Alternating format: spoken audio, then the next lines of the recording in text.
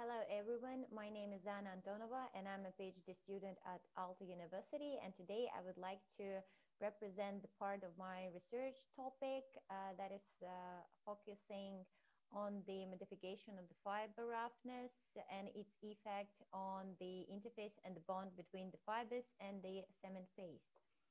So as you, oh, sorry, as you all know, uh, the uh, uh, cementitious composite are complex material uh, that can be considered on the several scales, and so is the fiber reinforced cementitious composite.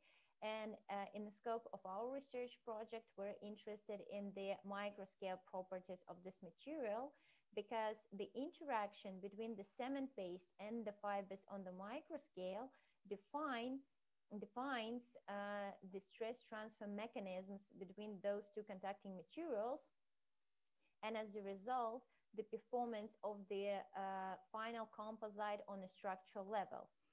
Uh, so to study the uh, interaction between cement paste and the fibers, it is important to know the properties of each contacting material separately. Uh, and there was already done a lot of studies regarding the microstructure of the cement matrix, uh, cementitious matrix around the inclusions, so as fibers uh, and uh, this um, cement matrix close to the inclusions is also called interfacial transition zone or ITZ. Uh, however, there is still a lack of the information regarding the properties, uh, influence of fiber properties on this interaction between cement paste and the fibers. Therefore, uh, in uh, as the goal of our research project, uh, we decided to evaluate the effect of fiber surface roughness on fiber wetting, uh, microstructure of the cement uh, based around the fiber, and, uh, and what, what would be the resulting capacity of the fiber matrix bond. So for that purpose, we used most commonly used steel fibers in Finland. This is steel fibers with the hooked ends. Uh, however, since uh, we were interested in a contact, so in adhesion and friction, but not in mechanical uh, uh mechanical anchorage of those fibers, we removed the hooked ends and used those fibers as uh, straight fibers. So uh, here in the picture, you can see the surface, the, the image of the fibers, non-processed fiber surface. so this is actually how they are under the microscope.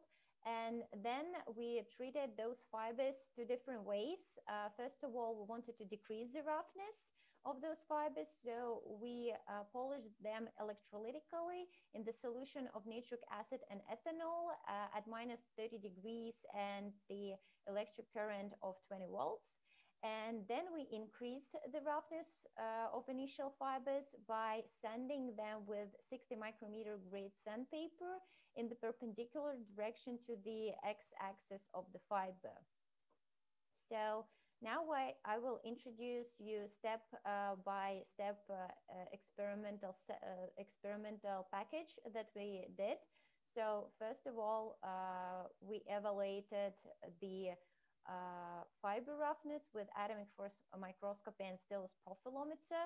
And then we studied uh, its effect on the wettability of the fibers by measuring the uh, contact angles of the water droplet uh, on the fiber surface. And uh, then, uh, as a next step, we were interested in how the different fiber roughnesses and their wettabilities, if they're changing, will influence uh, the distribution of the porosity and unhydrated cement grains from the fiber surface and in the cement uh, in the uh, cement paste.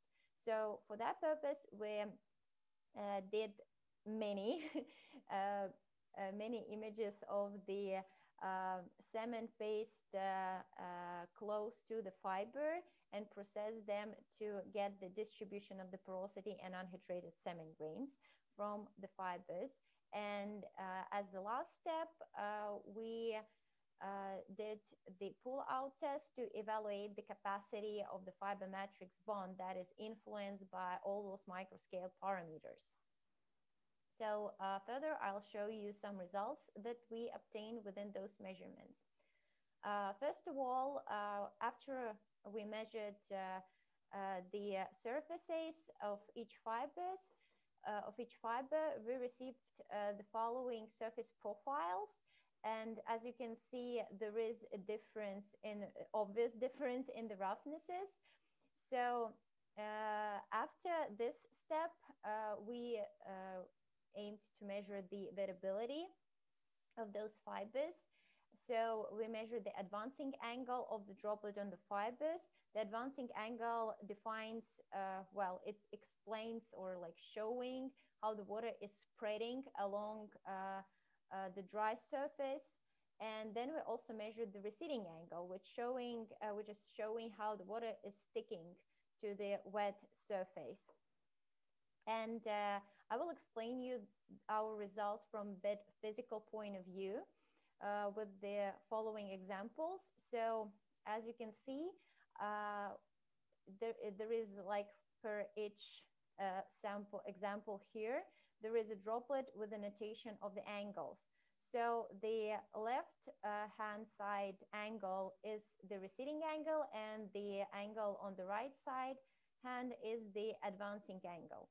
So as you can see, the larger is the difference between those angles, the better water is uh, spreading along the fiber. So in a case of the sanded fiber, which has the largest roughness, what we see is that water is more likely to spread as the water film along the fiber. And this is um, what we're actually aiming to because uh, it will facilitate the efficient hydration of the cement paste close to the fiber. In the case of polished fibers, the droplet will move along the fiber surface as it is. So there, uh, it most probably would still be gathered as a droplet and result in a water agglomeration uh, around the fiber. And usually this kind of agglomeration they cannot completely be utilized during the hydration process, so they stay there and result in a large void uh, uh, at the interface between the fiber and the cementitious matrix, which is not good for both durability and the capacity uh, of, of the composite. So to prove this assumption that uh, we uh, made based on the uh, wettability measurement, uh, we decided to study the microscale of the uh, mi uh, microstructure of the uh, cementitious matrix around the fiber. So for that purpose, uh, we did the uh, images of the micro of the interface between the fiber and the cement matrix along the whole interface between those contact two contacting materials and received the following backscatter electron images.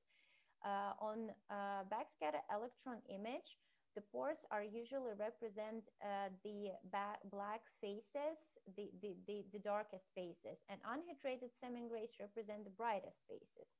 So further, what we did, we segmented those fa phases with K-means clustering algorithm and received the following segmented images, where the red uh, phase is unhydrated cement paste, uh, uh cement grains and uh, blue are the pores. So after that, we divided those uh, images uh, stripe-wise. Uh, the width of each stripe was five micrometers. And then we calculated the area fraction of each phase in each stripe and received the distribution of those phases from the fiber surface. So this is the uh, results of the porosity distribution as, and as you can see, there is a clear effect of the fiber roughness. So the larger is the roughness of the fiber, uh, the smaller is the porosity around it. Another interesting observation that we also noticed uh, is that uh, around uh, all of the polished fibers that we uh, had, we noticed this large, uh, large void here in the case of other fibers, uh, the amount of those pores was rather very small uh, as for non-processed fibers, or there was none uh, this kind of large pores in the case of uh, sanded fiber.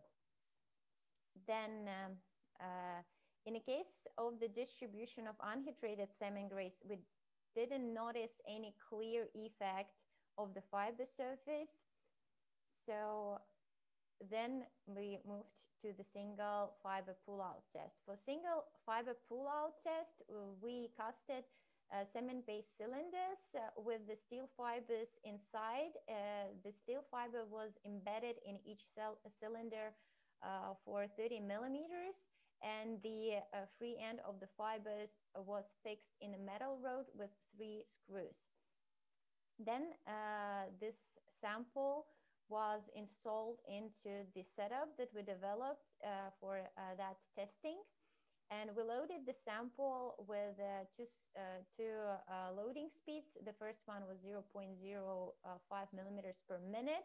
And we prolonged this loading till we gain one millimeter of slip. Within this slip, the, the um, sample reached the uh, maximum peak uh, load. And after that, we proceed with the faster speed to see how uh, fiber would be slipping out of the cement paste. So here are the results. And as you can clearly see, in the case of polished fibers, the slippage is faster than in other cases. And actually, the fiber was uh, falling out of the cement paste after reaching 20 millimeters. In the case of non-processed fiber, uh, the slippage was just gradually decreasing to the complete pull-out. And in the case of sanded fibers, uh, we noticed, uh, you also can see it now, this uh, increase of loading after the peak pull-out load. And uh, also the peak pull-out load was increasing with the increase of fiber roughness. So to sum up our research, uh, I would like to say that the increase of fiber roughness uh, actually improves the, improves the wettability of the fibers, which facilitates the decrease of porosity near the fibers. And as a result, it influences uh, the capacity of the fiber matrix bond before the debonding and also after the debonding. Therefore, uh, I would like to admit that it is important to consider the properties of the fiber surface while developing this material and not but not neglect it. Thank you for your attention.